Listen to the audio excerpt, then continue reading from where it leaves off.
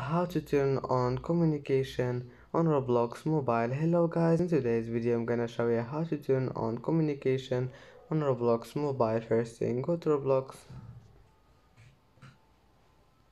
And here just click these three points in the bottom corner and go down until you find settings and privacy uh, settings and then click privacy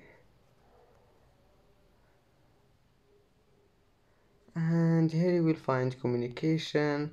Uh, just click here and uh, you will find that uh, on off or custom. Then just click default.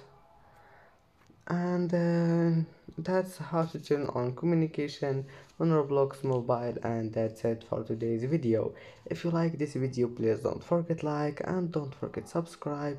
And thank you for watching this video and uh, see you in the next video